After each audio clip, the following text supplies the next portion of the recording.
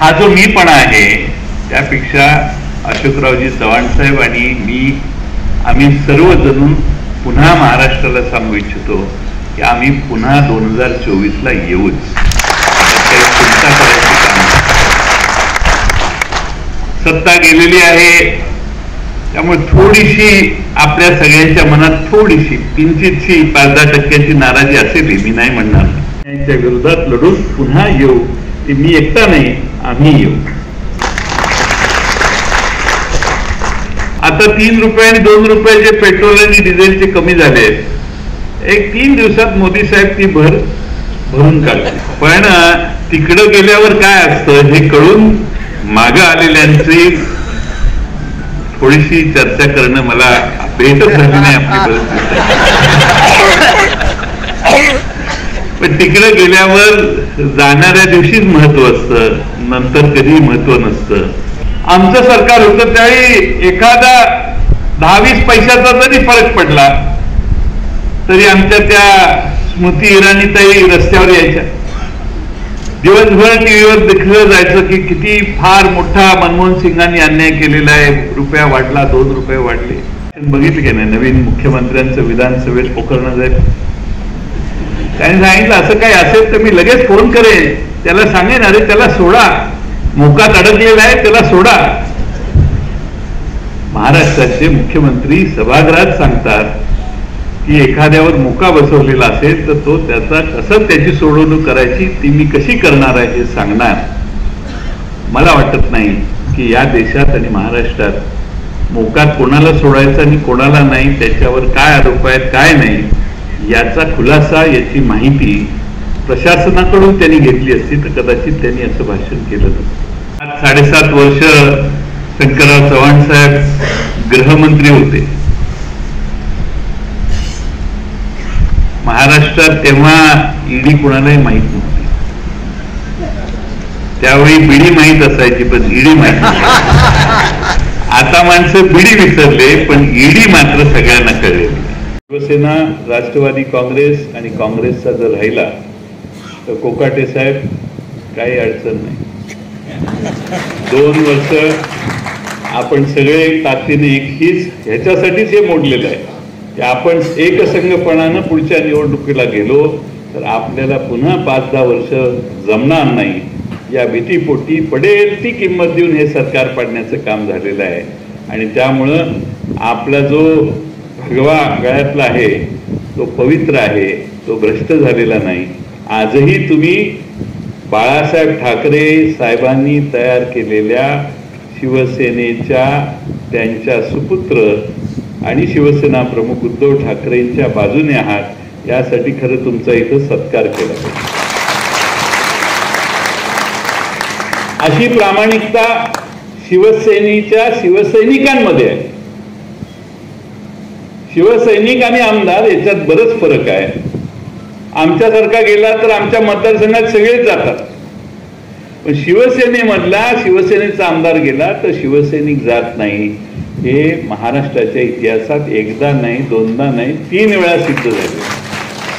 महाराष्ट्राचे माजी मुख्यमंत्री आदरणीय अशोकरावजी चव्हाण साहेब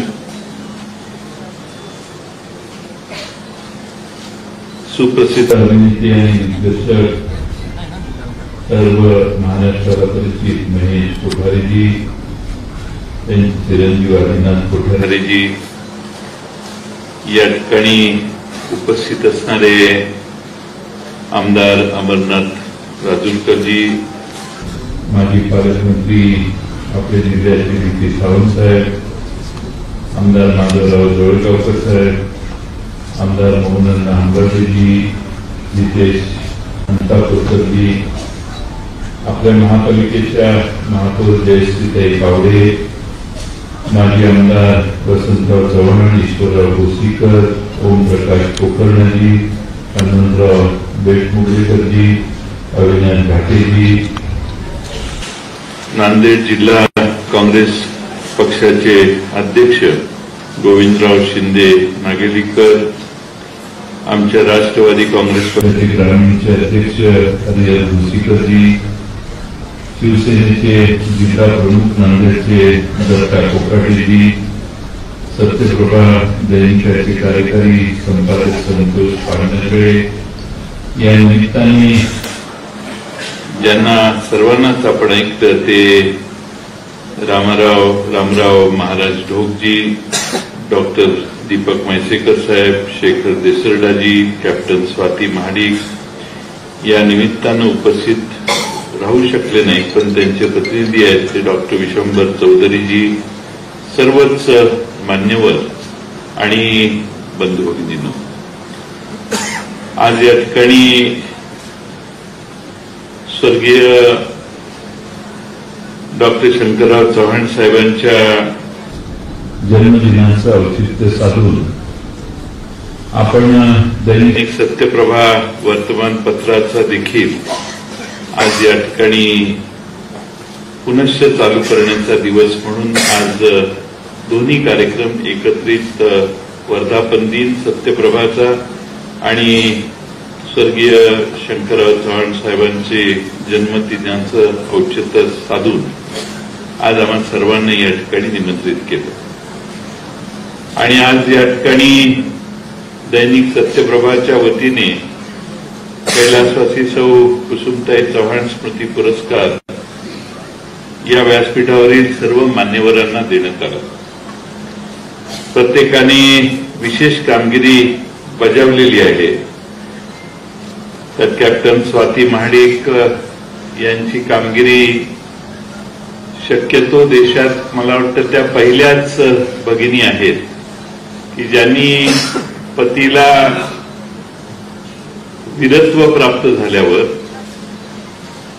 आज वीरपत्नी असताना देखील पुन्हा श्री गणेशा करून सर्व प्रकारचं ट्रेनिंग घेऊन सैन्य दलात सामील होण्याची भूमिका स्वीकारली.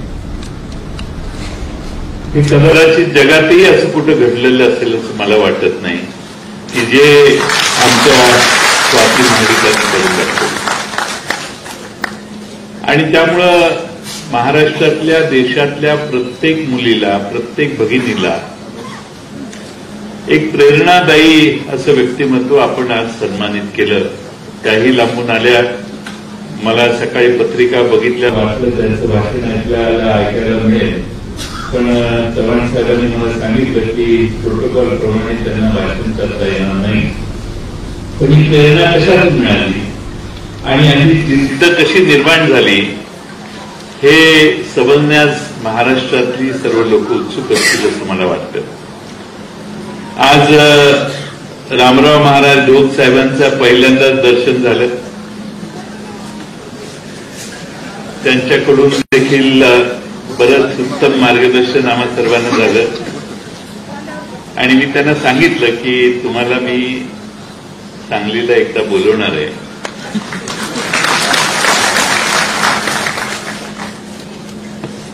रामायण आणि महाभारतातला अर्थ फार थोडक्यात त्यांनी समजावून सांगितलं. महाभारत चालू असताना रामायणाची किती गरज आहे हेही निर्णाहून चांगल्या पद्धतीनं त्यांनी आपल्या सर्वांना सांगितलं. आपल्या सारख्या समाज सुधारणेसाठी प्रबोधन करण्याचा प्रयत्न करणाऱ्या व्यक्तिमत्वाचा आज या व्यासपीठावरून सन्मान केला. शेखर देसरडाजी यांनी स्वकर्तृत्वावर वडिलांच्या नंतर धुरा पुढे नेत अतिशय उत्तम उद्योग सुरू केले. औरंगाबाद पर्यंत पोहोचणं ठीक आहे पण अगदी ब्राझील पर्यंत आणि जगाच्या सर्व खंडात जवळपास आला. त्यांनी त्यांची कार्यालय आणि त्यांचं काम सुरू केलेलं आहे. एवढा मोठा माणूस आपल्या मातीतला जगाच्या पुढे जातो याचा अभिमान आपल्या सर्वांना आहे. शेखर देसरडांचा देखील आपण सन्मान केला. विश्वंभर चौधरींनी इथं न येता आमचं बरंचसं काम केलं. त्यांचं मनोगत ऐकल्यावर सर्वांनाच कळलं असेल की सामान्य माणसाच्या मनात आज काय आहे. आणि त्यामुळे ते जरी इथं आलेले नसले तरी त्यांचं मी आभार मानेन की या देशात काय चाललेलं आहे याची दोन चार वाक्य त्यांच्या भाषणात ऐकल्यावर हे माझं मत नाही. कोकर्णाजी आपल्यासारख्या तिकडून परत इकडं आलेल्यांचंही मत नाही.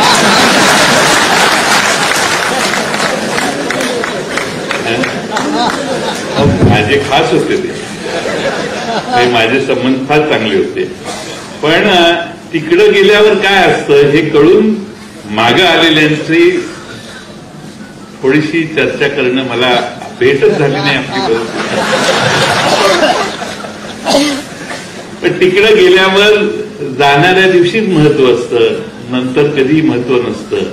आणि त्यामुळं आज या ठिकाणी विश्वंभर चौधरींनी जे वर्णन केलं ते महाराष्ट्राच्याच नाही तर भारतातल्या समाज मनाचं मन आहे. सत्तेत यायला काही अडचण नाही. एक दोन तीन चार पाच सहा सात आठ नऊ सरकार पाडणं आणि आमचं त्या राज्यात प्रभुत्व आहे हे दाखवणं हा एक वेळा अभ्यास या देशाच्या राज्यकर्त्यांना का निर्माण झालेला आहे हे आजही कुणाला कळायला पाहिजे लोकशाहीने निवडून दिल्यानंतर सत्तेवर बसल्यानंतर राज्य करावं. आणि जेव्हा लोकांना पुन्हा जाण्याची संधी मिळेल त्यावेळी लोकांना पटवून पुन्हा आपला राज्य निर्माण करण्याचा प्रयत्न करावा. हा साधारणपणाने स्वातंत्र्यानंतर आतापर्यंतच्या सगळ्यांनी अवलंबलेला मार्ग आहे. सात साडेसात वर्ष शंकरराव चव्हाण साहेब गृहमंत्री होते. महाराष्ट्रात तेव्हा ईडी कुणालाही माहीत नव्हती. त्यावेळी बिडी माहीत असायची पण ईडी माहीत आता माणसं बिडी विसरले पण ईडी मात्र सगळ्यांना कळली. चव्हाण साहेबांनी त्यांच्या सात साडेसात वर्षात कधी असं एखाद्या विषयी शपथ घेताना देखील मी कोणाबद्दलही द्वेष भावना ठेवणार नाही ममत्व भाव ठेवेन कोणाबद्दलही सुडाची भावना ठेवणार नाही अशा आशयाची शपथ मंत्री होताना आम्ही सगळेजण घेतो. पण त्या शपथेचा विसर सत्तेत आल्यावर सर्वच जण अलीकडे करायला लागले. ही भारतीय देशाच्या राज्यघटनेसमोर आणि लोकांच्या समोरचा सगळ्यात मोठा प्रश्न आहे असं मला वाटतं. सत्ता येते आणि जाते काही अडचण नाही. आलेली सत्ता पुन्हा येऊ शकते गेलेली. काही लोकांनी मी पुन्हा येईन पुन्हा येईन पुन्हा येईन. तुम्ही आठवण करून दिली आम्हाला. हा जो मीपणा आहे त्यापेक्षा अशोकरावजी चव्हाण साहेब आणि मी आम्ही सर्वजण पुन्हा महाराष्ट्राला सांगू इच्छितो की आम्ही पुन्हा दोन हजार चोवीसला येऊच. सत्ता गेलेली आहे त्यामुळे थोडीशी आपल्या सगळ्यांच्या मनात थोडीशी किंचितशी पाच दहा टक्क्याची नाराजी असेल मी नाही म्हणणार. पण आपल्या या दोन अडीच वर्षाच्या काळामध्ये सरकारने अतिशय उत्तम चांगले निर्णय घेतले. आणि हे निर्णय लोकांच्या पर्यंत पोचवण्याचं कामही कमी अधिक प्रमाणात झालं. पण सत्यप्रभा सारख्या दैनिकाची गरज काय आहे? तर जे चांगलं आहे ते लोकांपर्यंत पोचवण्याचा आता प्रयत्न प्रचंड प्रमाणात करावा लागतो. आम्ही एखादं भाषण केलं एखादी मतं मांडली तर दोन चार मिनिटात डीपी सावंत साहेब टीव्हीवरून निघून जातात. पण चुकीचं काही गैरसमज पसरवणार असेल तर ते सातत्यानं दाखवण्याची प्रथा अलीकडे देशात सर्वांच्यात नाही पण काही लोकांच्यात निर्माण झाली. आणि म्हणून सत्यप्रभा एकोणीसशे सत्तर साला प्रभाकर राव रावकेंनी सुरू केलं. मधल्या काळात बंद पडलं. अशोकरावजी चव्हाण साहेबांनी पुन्हा दोन हजार दोन साली ही व्यवस्था पुन्हा सुरू केली.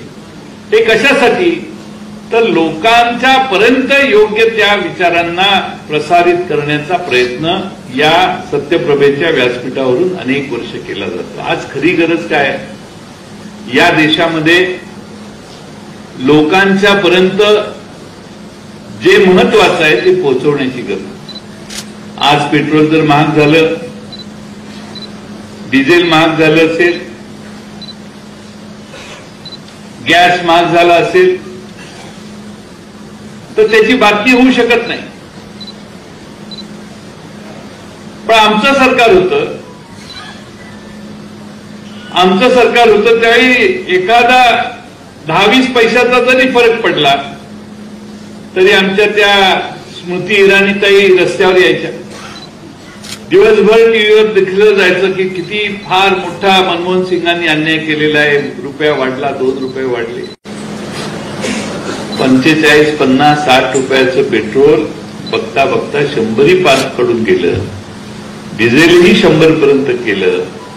पण या देशामध्ये त्या बातम्यांपेक्षा वेगळ्या बातम्यांना प्राधान्य देण्यात आलं हे मित्रांनो विसरू नका.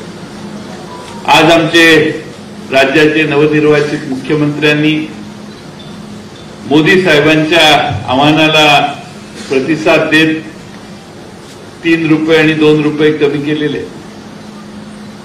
आता तीन रुपये आणि दोन रुपये जे पेट्रोल आणि डिझेलचे कमी झाले आहेत एक तीन दिवसात मोदी साहेब ती भर भरून काढतात. वेळ लागणार नाही.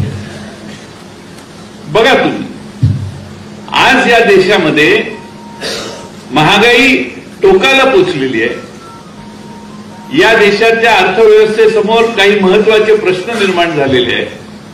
महागाई म्हणजे पेट्रोल डिझेल आणि गॅसच नाही. सिमेंट चार साडेचारशे रुपयापर्यंत मधल्या काळात पोचले डिझेल तीस बत्तीस हजार रुपये स्टील तीस बत्तीस हजार रुपये टन होतं. ते ऐंशी हजार रुपये टनापर्यंत पोचलं. या देशात सामान्य माणसानं घर बांधायचा विचार आता करायचाच नाही. अशी व्यवस्था करण्यात आली. आज ते सगळं कमी पडलं. म्हणून या देशामध्ये खाण्याच्या अशोकरावजी चव्हाण साहेब मुख्यमंत्री होते विलासराव देशमुख साहेब मुख्यमंत्री होते त्यावेळी जीएसटी आला बॅट आला सेल्स टॅक्स गेला बॅट आला. त्या सगळ्या काळामध्ये अन्नधान्यावर कधीही टॅक्स बसवायचा नाही. हे महाराष्ट्रानं केंद्र सरकारच्या वॅटच्या प्रदत्त समितीसमोर मत मांडलं. ते मी त्यावेळेचा अर्थमंत्री म्हणून राज्य सरकारच्या वतीनं मांडत होतो. महाराष्ट्रात वॅट आला त्यावेळी जे आपल्या अन्नधान्यावर टॅक्स आपण बसवला नाही. या देशामध्ये आज या राज्यकर्त्यांना अन्नधान्यावर तुम्ही जे खाताय त्याच्यावर देखील टॅक्स बसवण्याची इच्छा झाली. पाच टक्के आता तुम्ही गहू तांदूळ काय जे खरेदी कराल त्यावर आता पाच टक्के टॅक्स आहे. हे धाडस कसं होऊ शकतं?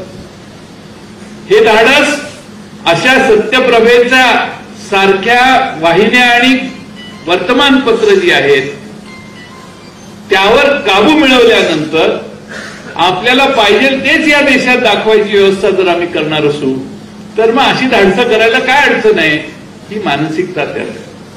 त्यामुळं पाच टक्के अन्नधान्यावरचा टॅक्स जीएसटी हा कदाचित पाचचा तीन टक्के करतील कदाचित चार टक्के करतील. आणि पुन्हा त्याच्या बातम्या येतील की मोदी साहेबांनी एक टक्के टॅक्स कमी केला किती मोठं काम केलं. अरे शून्य टक्क्याचा टॅक्स पाच टक्क्यावर पोचलेला आहे. या देशातल्या गोरगरिबांच्या अन्नाला देखील महाग करण्याची व्यवस्था तुमच्या देशात व्हायला लागली असेल तर त्याचाही या देशातल्या जनतेनं विचार करण्याची वेळ आली आणि म्हणून परिस्थिती सामान्य माणूस बघतोय. भारतातल्या सामान्य माणसांच्या सत्सद विवेक बुद्धीवर विश्वास नसणारी सगळे आता सज्जनांच्या पंक्तीत बसलेले आहेत. आमचा सगळ्यांचा सत्सद विवेक बुद्धीवर भारतातल्या जनतेच्या महाराज विश्वास आहे. आणि आपल्यासारखे समाज प्रबोधन करणारे जोपर्यंत आमच्या बरोबर आहे तोपर्यंत समाजामध्ये चांगल्या विचाराला नेहमी महत्त्व दिलं जाईल. आणि म्हणून आम्ही म्हणतोय की आम्ही पुन्हा या सगळ्या अन्यायाच्या विरोधात लढून पुन्हा येऊ. ते मी एकटा नाही आम्ही येऊ. आपल्यासारख्यांची प्रेरणा आपल्यासारख्यांचं मार्गदर्शन पाहिजे. महाभारत आणि रामायणाचा फरक लोकांना कळत गेला. तर मला वाटतं आमचे बरेचसे राजकीय दृष्ट्या प्रबोधन करण्याचे प्रश्न कमी होतील. आणि म्हणून आपल्या रामराव महाराज ढोक साहेबांचा आज सन्मान केला. हे एक महत्वाचं काम या ठिकाणी या सुट्टावर झालं. आमच्या दीपक म्हैसेकरांचं प्रशासन हे वाखाणण्यासारखं आहे. माझा त्यांचा अनेक वर्षाचा जवळून परिचय. जेव्हा जेव्हा त्यांच्याशी संपर्क आला एक व्यवस्थित आदर्श अधिकारी म्हणून काम कसं करायचं याचाच आदर्श घालत त्यांनी त्यांच्या कारभारातले निर्णय घेतले. प्रशासन कसं चालवायचं याच्याविषयी नवनिर्वाचित मुख्यमंत्र्यांनी आपल्या पहिल्याच भाषणात सांगितलेलं तुम्ही भाषण बघितलं की नाही? नवीन मुख्यमंत्र्यांचं विधानसभेत पोकरणं जाईल त्यांनी सांगितलं असं काय असेल तर मी लगेच फोन करेन. त्याला सांगेन अरे त्याला सोडा. मोकात अडकलेला आहे त्याला सोडा. महाराष्ट्राचे मुख्यमंत्री सभागृहात सांगतात की एखाद्यावर जर मोका बसवलेला असेल तर तो त्याचा कसं त्याची सोडवणूक करायची ती मी कशी करणार आहे हे सांगणार. मला वाटत नाही की या देशात आणि महाराष्ट्रात मोका कोणाला सोडायचा आणि कोणाला नाही त्याच्यावर काय आरोप आहेत काय नाही याचा खुलासा याची माहिती प्रशासनाकडून त्यांनी घेतली असती तर कदाचित त्यांनी असं भाषण केलं नसतं. पण आता काय होणार आहे याची सहज तुम्ही बरं झालं रिटायर झालं.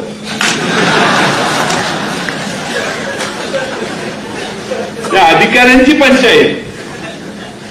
आणि म्हणून आज एका चांगल्या सर्व सज्जनांचा सत्कार या ठिकाणी अशोकरावजी आपल्या उपस्थितीत या ठिकाणी होतोय. सज्जनांचा सत्कार करत असताना आदिनाथ कोठारे यांच्यासारख्या एका उत्कृष्ट आणि प्रतिभावंत अशा कलाकाराचा अशा सिनेमात ज्यांची प्रभावी व्यक्ती आज महाराष्ट्र बघतोय त्यांचाही सन्मान करण्याची संधी मिळाली आमच्यासारख्यांना काय नट जवळून बघायला मिळालं तरी आम्ही खुश असतो. तुमच्या वडिलांना मी अनेक वेळा भेटलोय पण आज तुमचा दर्शन झालं. मला चित्रपटाची मराठी चित्रपटाची परिस्थिती आता बरीच बदलली आहे. आणि चित्रपटी थिएटरमध्ये जाऊन बघण्याची परिस्थिती आता राहिलेली नाही. घरात नेटफ्लिक्सपासून अनेक वाहिन्या आपल्याला वेगळे तुमच्या चॉईसचे सिनेमे दाखवायला लागले एवढा प्रचंड बदल त्या सिनेसृष्टीतल्या व्यवस्थेत आणि व्यवसायात झालेला आहे. आणि म्हणून आपल्या सर्वांच्या वतीनं आदिनाथ कोठारेंना मी मनपूर्वक शुभेच्छा देतो. त्यांच्या भावी कारकिर्दीला निश्चितपणाने एका उमेदीचा हा नट भारतात देशात मराठी भाषेत आणि हिंदी भाषेत देखील चमकेल असा विश्वास बाळगतो. आज आपण सर्वांनी मला या ठिकाणी निमंत्रित आवर्जून केलं. अशोकरावजी चव्हाण साहेबांच्या भाषणात काही उल्लेख आले. संध्याकाळी सभा आहे त्याच्यावर मी निश्चितपणाने संध्याकाळी बोलेल पण महाराष्ट्राच्या मराठवाड्याच्या तुटीच्या प्रदेशात पाणी जास्तीत जास्त आणण्याचे जे मूलभूत निर्णय आहेत ते आमच्या सरकारने घेऊन टाकले. मुकणे धरण वैतरणीतनं मुकणे धरणात बारा टीएमसी पाणी पहिल्यांदा एकच टीएमसी पाणी ट्रान्सफर करण्याची त्या धरणाच्या भिंतीत डिझाईन होतं. जेव्हा मी या खात्याचा मंत्री झालो त्यावेळी त्या मुकणे धरणाचं डिझाईन बदलायला लावलं. आणि त्या धरणामध्ये बारा तेरा टीएमसी पाणी जास्तीत जास्त राहतं. त्यातले बाराच्या बारा टीएमसी पाणी ट्रान्सफर होईल. आणि मुकणे धरणातनं गोदावरी खोऱ्यात येण्याची आणि आपण ज्याचा उल्लेख केला जे धरण फक्त आणि फक्त स्वर्गीय शंकररावजी चव्हाण साहेबांच्यामुळं मराठवाड्याला मिळालं. त्या पैठणच्या जायकवाडी धरणात ते पाणी दहा ते बारा टीएमसी पाणी येण्याची व्यवस्था पूर्ण झाली. डीपी सावंत साहेब टेंडर निघालेलं आहे. मी त्यांना घेऊन नारळपुड्याला जाणार होतो. आमचं ठरलं होतं. निरोपी झाले पत्रिकाही छापल्या. पण त्या मुकणे धरणाच्या वैतरणीच्या काठावरची जी लोक आहेत त्यांची एक मागणी आहे की आमच्या जमिनी आम्हाला ज्या वापरल्या गेल्या नाही त्या परत द्याव्यात. जिल्हाधिकाऱ्यांच्याकडून ती प्रोसेस चालू आहे. पाच सहा वेळा मी मिटिंग घेतल्या. आता जवळपास ती प्रोसेस संपेल त्यांचं प्रोसिजर करून लिलावाने त्यांना जमिनी परत द्यायची प्रोसिजर पूर्ण होईल. त्यावेळी त्या मुखने धरणाचं काम कदाचित या महिन्यात दीड महिन्यात चालू होईल. त्यावेळी वर्ष सव्वा वर्षातच ते काम पूर्ण होईल. आणि मराठवाड्यात माझा प्रयत्न होता दोन हजार चोवीसच्या निवडणुकीच्या आधी मराठवाड्यात जायकवाडी धरणात दहा ते बारा टीएमसी पाणी तिथलं आणायचं. त्याच्याखाली वैतरणेच्या खाली सेव्हन सात टीएमसी पाणी आपण लिफ्ट करून आणणार आहे. तेही पाणी अतिरिक्त काही नाशिकला आणि उरलेलं आपल्या मराठवाड्यातल्या जायकवाडीच्या धरणात पोचवायचं असा व्यवस्था केलेली आहे. त्याचबरोबर वळण बांधणाऱ्यांना बरीच गती आपण दिलेली आहे. चव्हाण साहेब म्हटले मगाशी त्यावेळी प्रचंड मोठ्या प्रमाणात बरीच कामं फॉरेस्टमध्ये अडकलेली वगैरे सोडवून आपण अंतिम स्टेजवर कामं सुरू होण्याच्या स्टेजवर आलेत. माझा अंदाज आहे की पुढच्या चोवीस सालापर्यंत आमचा प्रयत्न होता की चोवीस सालापर्यंत मुकणे धरणाचं हे आठ दहा टीएमसी पाणी अधिक पलीकडून वळण बंधाऱ्याच्या मार्फत आणखी चार पाच टीएमसी पाणी अतिरिक्त काढायचं आणि इकडे आणायचं वळवायचं हा आमचा प्रयत्न होता. कदाचित दोन हजार सत्तावीस दोन हजार एकोणतीस सालापर्यंत ते सगळे प्रकल्प पूर्ण झाले. तर जवळपास तीस एक टीएमसी पाणी हे वळवण्याचं आपल्याला समाधान मिळाल्याशिवाय राहणार नाही. आणि म्हणून हे सगळे प्रयत्न करत असताना मराठवाड्याच्या तुटीवर काय मार्ग? म्हणून बऱ्याच चर्चा झाल्या. आम्ही जागर माजलगावच्या धरणाचा उल्लेख पंच्याहत्तरच्या नंतर झाला. त्यामुळे त्यातलं एकोणीस साडे एकोणीस टीएमसी पाणी आपल्याला नंतरच्या एकशे दोन टीएमसी मध्ये धरावं लागलं. सगळी फाईल बघून माजलगाव धरण कधी झालंय याचा अभ्यास करून आम्ही ते आधी झालेलं असेल तर त्याची आधी काउंटिंग झालं पाहिजे. म्हणून ते केल्यानंतर अधिक एकोणीस साडे एकोणीस टीएमसीचं काम एकोणीस साडे एकोणीस टीएमसी पाणी आता मध्य गोदावरीच्या खोऱ्यात आपल्याला उपलब्ध झालेलं आहे. आणि त्यामुळं तिथल्या प्रकल्पांना मोठ्या प्रमाणात मंजुऱ्या देण्याचं कामही आपल्या काळात झालेलं आहे. आपल्या दुसरा महत्त्वाचा निर्णय महाराष्ट्र आणि आंध्र प्रदेशमध्ये अठ्ठ्याण्णव साली करार झाला.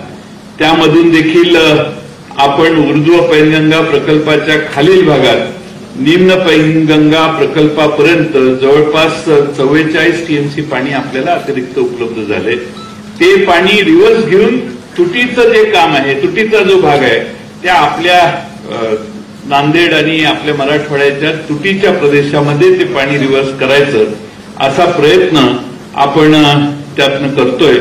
त्याची मी संध्याकाळी माहिती देईन पण नांदेड हिंगोली यवतमाळ या जिल्ह्याला त्याचाही फायदा होणार आहे. त्यामुळं मराठवाड्यातल्या अशोक चव्हाण साहेबांना मी मान्यच केलं पाहिजे. की किती पाठपुरावा करावा याचा मला वाटतं की महिन्यातून दोन तीनदा फोन यायचे. आणि आज जवळपास चौदा अब्ज घनफूट पाण्यातून नांदेड जिल्ह्यासाठी आपण चौदा प्रकल्पांना मान्यता दिलेली. आणि ते प्रकल्प जे आहेत ते पिंपळकोठा साठवण तलाव मुदखेड तालुक्यात जानापुरी साठवण तलाव लोहा तालुक्यात हळी साठवण तलाव देगलूरला हावरगाव उच्च पातळी बंधारा देगलूरला सुंडंगी सुडंगी उच्च पातळी बंधारा देगलूर तालुक्यात लेंडी याच्यावर हिंदोळा डोलारा साठवण तलाव लोहा तालुक्यात गुंडा उमरा साठवण तलाव लोहा तालुक्यात हिंदोळा साठवण तलाव लोहा तालुक्यात मलकापूर साठवण तलाव लोहा तालुक्यात दही कळंबा साठवण तलाव लोहा तालुक्यात सावरगाव नसरत साठवण तलाव लोहा तालुक्यात शेलगाव साठवण तलाव लोहा तालुक्यात सावळेश्वर साठवण तलाव कंधार तालुक्यात लाट खुर्द साठवण तलाव कंधार तालुक्यात असे आपण प्रकल्प मंजूर केलेले आहेत. त्याची टेंडरची प्रोसेस चालू केली आहे. लवकर निघतील. आणि पोटा उच्च पातळी बंधारा औंढा हिंगोली जोडपरडी उच्च पातळी बंधारा वसमत पिंपळगाव कुटे उच्च पातळी बंधारा वसमत आणि ममदापूर उच्च पातळी तालुका पूर्णा जिल्हा परभणी. असे देखील प्रकल्पांना प्रशासकीय मान्यता प्रकल्पांना देऊन निविदा काढण्याची प्रोसिजर चालू केली आहे. अजून एक चार सहा महिने झाले असते तर अशोकरावजींनी मला सांगितलेलं तुम्ही दोन दिवस काढा हेलिकॉप्टरने जाऊ आणि सगळे धरणांचे भूमिपूजन करू. एवढ्या स्टेजला आलेले आहेत. आता होतील भूमिपूजन. थोड्या महिन्यात दोन महिन्यात तीन महिन्यात जर गतीनं काम केलं तर. पण मराठवाड्यातले हे महत्त्वाचे प्रश्न जे कदाचित सुटलेही नसते ते सगळे जुन्या सगळे आकडेमोड करून नव्या प्रकल्पांना मंजुरी देऊन अशोकरावजींनी सांगितले बरोबर आहे की आधी तुटीचा प्रश्न सोडवा आणि मग अतिरिक्त दुसरीकडे कुठं न्यायचंय ते न्या. त्याप्रमाणे मोठ्या प्रमाणात मराठवाड्यात पाणी आणण्याचं काम आम्ही सगळ्यांनी करायचं ठरवलंय. वैनगंगा टू नळगंगा याच्यातूनही थोडंसं टॅपिंग घेऊन मराठवाड्यात अतिरिक्त पाणी आणायचं हाही प्रयत्न आपण त्या डिझाईनमध्ये केलेला आहे. मी हे यासाठी सांगतोय की माझी या खात्याची जबाबदारी मिळाल्यानंतर मराठवाड्याकडे आम्ही पूर्ण लक्ष केंद्रित करून ह्या सगळ्या प्रश्नांची दिशा निश्चित केलेली आहे. आणि त्याप्रमाणे पुढच्या पाच सहा वर्षात हे सगळे प्रश्न प्रकल्प मार्गी लागलेले आपल्या सर्वांना दिसतील असा मला विश्वास आहे. आता मी वाचताना लोहा तालुक्यातच जास्त प्रकल्प आहेत. आता तिकडे जाऊन बसायची काय गरज होती का? लोहा कंधार तालुक्यातच. बोसीकर साहेब किती प्रकल्प आहेत? आता तिकडे जाऊन बसायची गरज होती का? पण कुठं बसलोय हेच कळत नसेल तर त्याला दोष आपण कसा द्यायचा? त्यामुळं लोहा ते उठा म्हटल्यावर उठत होते त्या दिवशी. तिकडं का बसलाय म्हणून सांगितलं ते उठून इकडे येत होते. पण सांगायचा मुद्दा हा की आपल्या सरकारने जेवढं म्हणून करता येईल आणि मला सांगायला आनंद वाटतो की मराठवाड्यात ज्या ज्या ठिकाणी आम्ही फिरलो दत्ता कोकाटेजी जिथं जिथं मी गेलो तिथं सर्व शिवसेनेच्या आमदारांनी माझं स्वागत केलं. अनेकांच्या घरी जाऊन मी नाश्ता केला जेवलो. सगळे शिवसैनिक शिवसेनेचे आमदार खुश होते. काही अडचण नव्हती. काही तक्रारी कुणी कधी केली नाही. आणि सगळ्यांचीच कामं केली. आम्ही मी माझ्या दारात म्हणजे माझ्या कार्यालयात जर कोणी आलं तर त्याला अं, मोकळं कधी शिवसेनेचे असोत काँग्रेसचे असोत शेवटी राज्य सर्वांचं आहे. या भावनेनंच आम्ही सर्वांनी काम केलं. शेवटी आता तिकडे जायचं म्हटल्यावर काही कारणं दिली पाहिजेत. मी शिवसेनेच्या आमदारांच्या मतदारसंघात असताना कधीही कुठं म्हटलं नाही की इथला आमदार राष्ट्रवादीचा होईल. कधीही नाही. रेकॉर्ड काढून बघा. मी फक्त म्हणायचो स्थानिक स्वराज्य संस्था आहेत आपल्याला निवडणुका इथे लढवायच्या आहेत. स्थानिक स्वराज्य नगरपालिका जिल्हा परिषदेत तरी आमचा पक्ष टिकावा हे प्रत्येक पक्ष बघतो. पण शेवटची टोकाची कारणं दिली. काही लोक गेली. कुणाला झाडं बरी वाटली कुणाला डोंगर बरे वाटले. कुणाला हाटील एक एकदम ओके वाटलं. यांच्याबद्दल न बोललेलं तेवढं खरं आहे. पण हे कसे गेले? महाराष्ट्राचे समोरचे प्रश्न सोडवायलाही गेलेले नाही. हे लोकांच्यासाठी लोकांची कामं होत नाहीत म्हणून गेलेले नाहीत. शेकडो कोटी रुपये प्रत्येक मतदारसंघात आपण खर्च केले आहेत. करोना असताना देखील. हे गेलेले आहेत. त्या प्रत्येकाची किंमत काय आहे? हे आता महाराष्ट्रात आकडे बाहेर यायला लागले. आणि त्यामुळं त्याच मतदारसंघातली लोक पोकर्ण साहेब म्हणतात अरे आपल्या आमदाराचे सगळेच प्रश्न सुटलेले दिसत आहेत जर अशा पद्धतीनं या देशामध्ये सत्ता परिवर्तन होत असतील तर मग निवडणूक लढवण्याची गरजच नाहीये. आपल्याला अधिकार घेऊन टाकले पाहिजेत आणि तुम्ही म्हणाल त्यांना नॉमिनेशन द्यायला पाहिजेत. लोकांनी जनतेच्या समोर जाऊन निवडून यायचं आणि मग वेगळ्या आमिषाला बळी पडायचं हेही चित्र महाराष्ट्राच्या संस्कृतीच्या दृष्टीनं बरोबर नाही. आणि म्हणून शंकरराव चव्हाण साहेबांचं स्मरण का महत्वाचं आहे? तर त्या नेत्याने कधीही कधीही आयुष्यात विचलितपणा दाखवला जी पावलं टाकली ती ठामपणानं टाकली. जी पावलं टाकली ती स्वाभिमानानं टाकली. ज्या पद्धतीनं त्यांनी आयुष्य ऋषितुल्य आयुष्य घालवलं त्यामुळे त्यांचा आज महाराष्ट्रात आणि देशात आजही सन्मान होतो. शेवटी आयुष्यात किती कमवले यापेक्षा किती माणसं जोडली आणि आयुष्यात तुम्ही काय केलं याला जास्त महत्त्व आहे. आणि शेवटच्या दिवशी ज्यावेळी अंतयात्रा माणसाची निघते ना त्यावेळी माणसं काय बोलतात याला सगळ्यात जास्त महत्त्व आहे. बाकी सगळं ठेवूनच जायचंय. कुणाकडून कुणी किती घेतले याच्याविषयी बोलू आपण. विधानसभा अजून आहे आमच्याकडे. त्यावेळी बोलू. सगळ्यांनाच माहिती पण एवढा ढळढळीत घटनाक्रम आपल्या सर्वांच्या समोर आहे. आणि त्यामुळं महाराष्ट्रातला सामान्य माणूस सामान्य नागरिक उद्धव ठाकरे फेसबुक लाईव्ह करायला लागले तर ढळाढळा रडायला लागल्या महिला भगिनी. उद्धवजी आमचे मुख्यमंत्री. त्यांनी आपलं मनोगत व्यक्त केलं सत्ता सोडताना जो सहजपणा दाखवला तो सहजपणा दाखवताना त्यांनी आपल्या महाराष्ट्रातल्या सामान्य माणसाची मनं जिंकली. तोच ठामपणा शिवसेना राष्ट्रवादी काँग्रेस आणि काँग्रेसचा जर राहिला तर कोकाटे साहेब काही अडचण नाही. दोन वर्ष आपण सगळे ताकदीने एक हीच ह्याच्यासाठीच हे मोडलेलं आहे. की आपण एकसंघपणानं पुढच्या निवडणुकीला गेलो तर आपल्याला पुन्हा पाच दहा वर्ष जमणार नाही. या भीतीपोटी पडेल ती किंमत देऊन हे सरकार पाडण्याचं काम झालेलं आहे. आणि त्यामुळं आपला जो भगवा गळ्यातला आहे तो पवित्र आहे तो भ्रष्ट झालेला नाही. आजही तुम्ही बाळासाहेब ठाकरे साहेबांनी तयार केलेल्या शिवसेनेच्या त्यांच्या सुपुत्र आणि शिवसेना प्रमुख उद्धव ठाकरेंच्या बाजूने आहात यासाठी खरं तुमचा इथं सत्कार केला. अशी प्रामाणिकता शिवसेनेच्या शिवसैनिकांमध्ये आहे. शिवसैनिक आणि आमदार याच्यात बरंच फरक आहे. आमच्यासारखा गेला तर आमच्या मतदारसंघात सगळेच जातात. पण शिवसेनेमधला शिवसेनेचा आमदार गेला तर शिवसैनिक जात नाही. हे महाराष्ट्राच्या इतिहासात एकदा नाही दोनदा नाही तीन वेळा सिद्ध झालं. त्यामुळे सामर्थ्याने आपल्या शिवसैनिकांनी महाराष्ट्रामध्ये उद्धव ठाकरेंच्या मागे उभा राहायचा निर्धार जर केला तर मला काहीही अडचण वाटत नाही. आज तुम्हाला माहिती आहे की नाही माहीत नाही. शेवटचं भाषण संपतं दोन मिनिटाचं उदाहरण देतो आणि माझं भाषण. म्हणजे आता शेवटी आपल्या रामराव महाराजांच्या पेक्षा जास्त बोलणं मी उचित नाही. त्यामुळे त्यामुळे मी थोडक्यात संपवतो.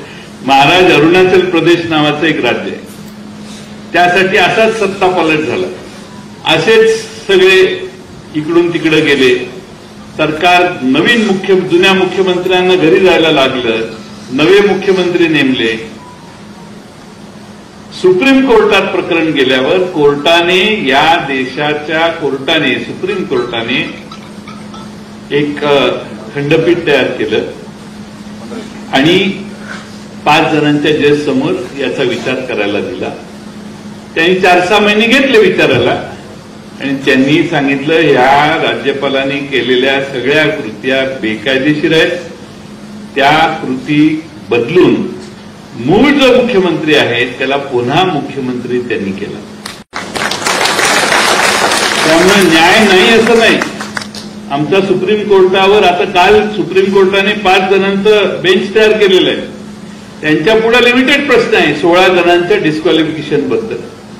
गटनेता ठरवण्याबद्दल. ते काहीतरी होईल.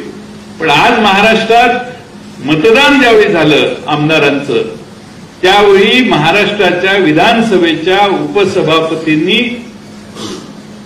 निकाल घोषित करण्याच्या आधी सांगितलं की माझ्या समोरही मतदान झालेलं आहे.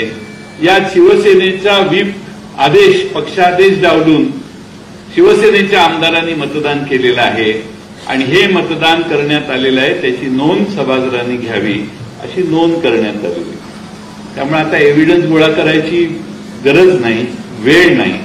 आणि त्यामुळं एव्हिडन्स सकट मतदानाची घोषणा कोणाला किती आणि कोणाला किती हे झालेलं आहे.